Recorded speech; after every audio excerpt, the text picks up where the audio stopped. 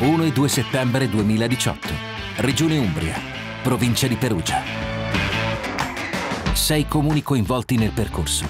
Cerreto di Spoleto, Norcia, Santa Anatolia di Narco, Scheggino, Spoleto e Vallo di Nera. Quattro percorsi per diverse sfide, tutte tra la vecchia ferrovia che collega Spoleto e Norcia. Un'unica protagonista, la mountain bike. Icarus vi aspetta a settembre per vivere uno dei più grandi e apprezzati eventi di MTB d'Italia. Spoleto Norcia, in MTB. Continuate a seguirci